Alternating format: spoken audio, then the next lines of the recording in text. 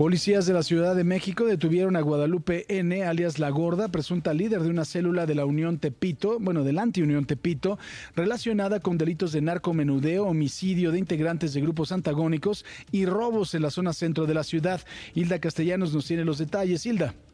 Muy buenas tardes. Efectivamente, policías capitalinos capturaron a Guadalupe Hernández Gómez, alias La Gorda, líder de una célula disidente de la Anti-Unión Tepito, quien cuenta con antecedentes delictivos por delitos contra la salud en su modalidad de narcomenudeo y cohecho. Te comento, Paco, que La Gorda se disputaba con Mireya Hernández Vázquez, alias La Señora, quien es esposa de Jorge Flores Conchas, alias El Tortas, líder de la Antiunión, se disputaba el control de las operaciones delictivas en la Plaza Garibaldi.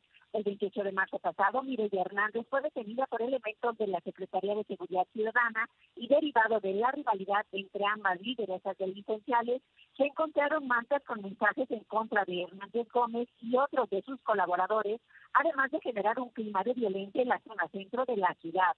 Luego de la detención de la señora o la patrona, Guadalupe Hernández Gómez asumió el control de las operaciones delictivas en la anti-Unión Tepito, sin embargo, decidió cambiar de domicilio a la colonia Morelos, esto en la alcaldía de Nociano Carranza, para evitar ser víctima de los ataques del grupo de su rival tras ubicar a la presunta eh, delincuente Guadalupe Hernández Gómez.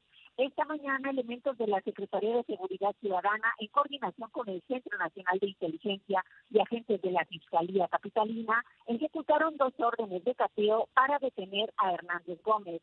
Estos cateos se llevaron a cabo en dos inmuebles ubicados en la colonia Morelos de la alcaldía de Nociano Carranza y en la colonia Centro, eso en la alcaldía Cuauhtémoc, de los cuales, de acuerdo con las investigaciones policiales, eran utilizados por la llamada gorda Guadalupe Hernández Gómez para ocultarse y almacenar las drogas.